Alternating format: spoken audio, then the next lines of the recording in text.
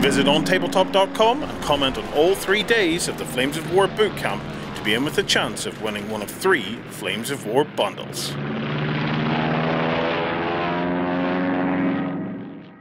Hi everybody, we are back at the Flames of War Bootcamp. I have snuck off to get a little bit of a game in with the Russians. So, uh, we opened up the, the Russian big box yesterday and I thought I would like to actually do an army for it. So I had Chris from Battlefront design me up a 50 point list. So, what we have, we have some T-70s, which are across in the forest here. You can see two of them have the turrets turned upside down because they got brewed up, unfortunately. I have my T-34 Hero Tank Company and my HQ. My HQ, I'm leaving him here because he's holding an objective which is scoring me victory points. My other units, however, are up here laying waste to this uh, train station. The next thing I have are the stars of my army. These are the KV-1s. They are sitting here on a road being a right royal pain for Oshin.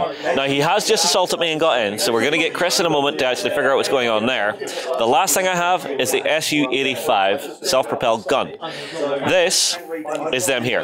And you're probably wondering why they're just chilling out at the back. It's because I haven't needed them yet, and I thought it was a little unfair to throw absolutely everything, because this does feel like quite the hefty army. So, uh, Oshin, you enjoying it? You having fun?